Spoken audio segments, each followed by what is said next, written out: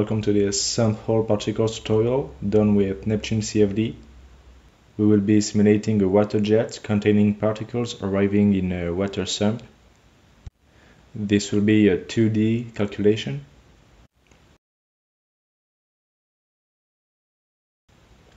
So first, create a study with the Neptune CFD command, a study called sump hole particles with one case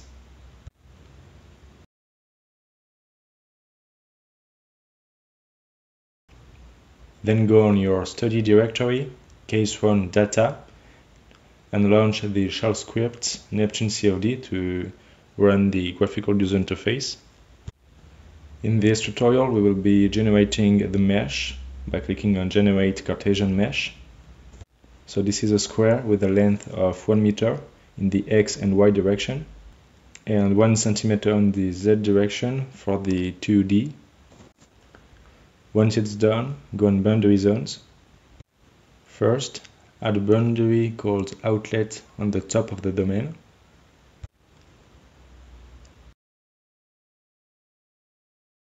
Another one called inlet with a length of 5 centimeters on the left.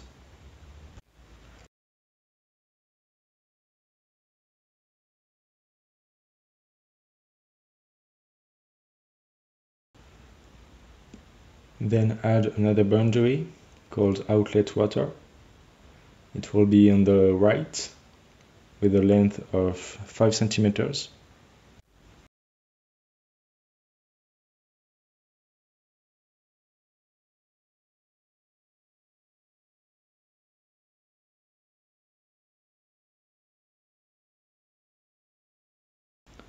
Then the symmetries which are normal to the Z component.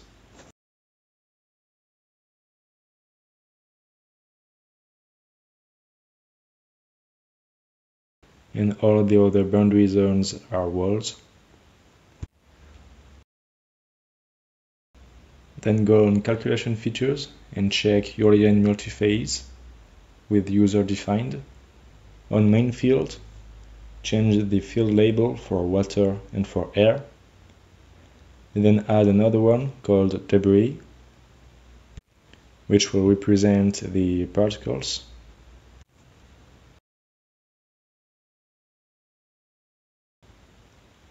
Change the phase to solid with the interfacial criterion dispersed and the carrier phase is water. In this case the energy will not be resolved. Then click on turbulence models for the water, choose an Rij epsilon SSG.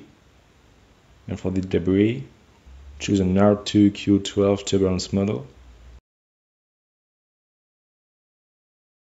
You then need to choose separate faces. On body forces, you need to add the gravity in the Y component.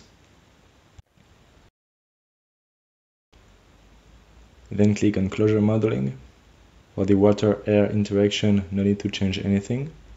Then click on the water-debris interaction. Keep the drag as it is and change all the other settings to none.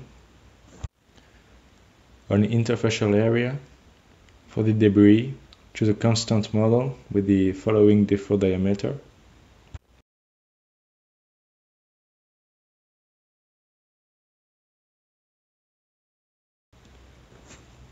Then click on particle interactions. You can let all the settings as it is. In volume conditions check initialization. Then click on all cells to change the thermodynamic properties. Set the following properties for the water.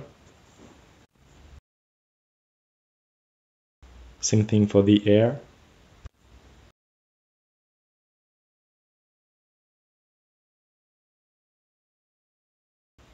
and finally for the debris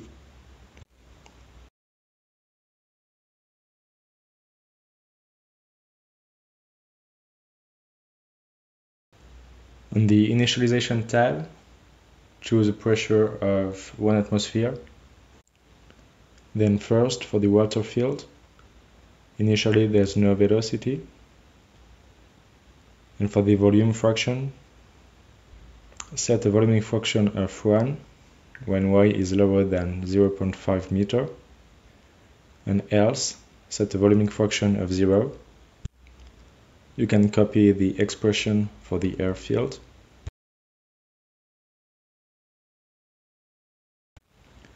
So for the air, initially there's no velocity. And for the volumetric fraction, you can pass the expression you just copied and change if y is greater than 0.5. Finally, for the debris, initially there's no debris, so velocity of 0 and a fraction of 0. Then in boundary conditions, change the natures.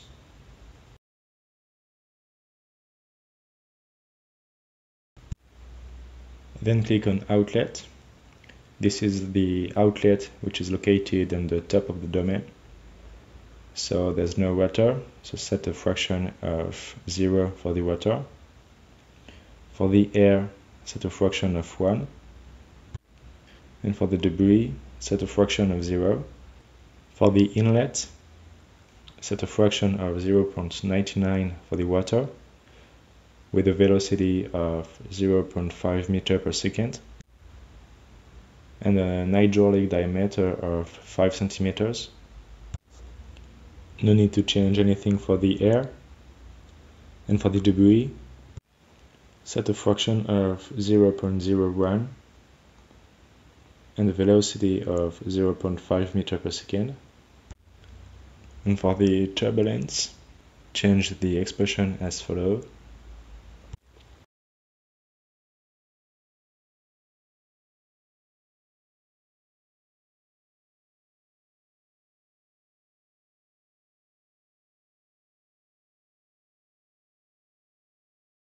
Then for the outlet water, for the water field, set a fraction of 1 with a velocity of negative 0.5 because this is an outlet. And for the turbulence, set an hydraulic diameter of 5 centimeters.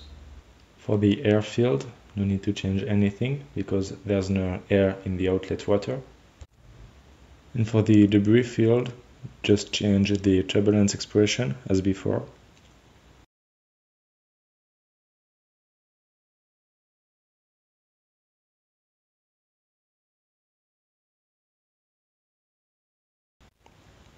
And finally, for the walls, set the following properties for the wall model for each field.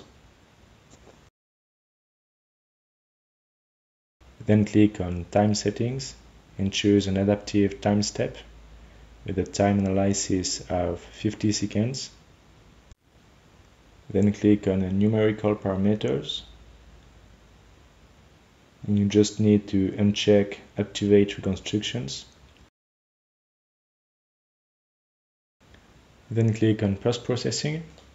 For the writer tab, choose an output every 10 milliseconds.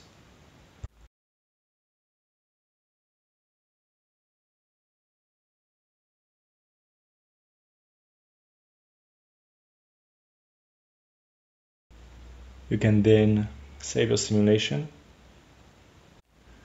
and go back in your terminal window. Go in the source directory.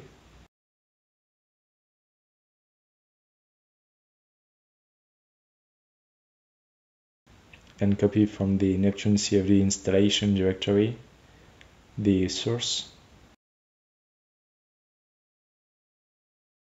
In C user boundary conditions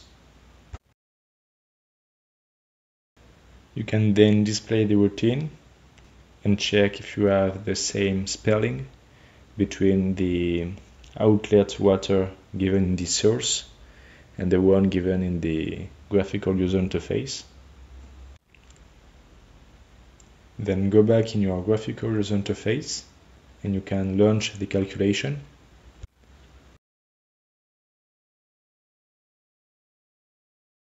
You can then open ParaView to post-process the results. So you can add a filter, cell data to point data to smooth the results.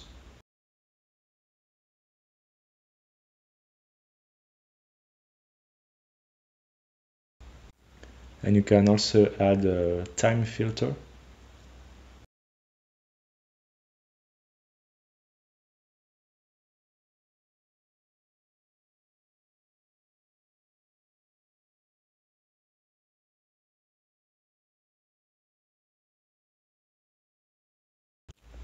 we can display the volumic fraction of water and see its evolution.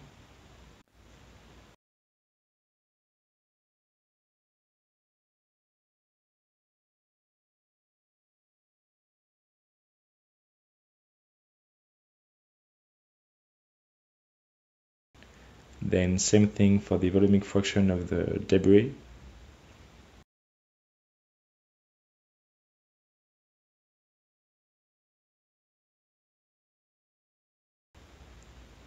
we can see that at the end there's a high concentration um, near to the outlet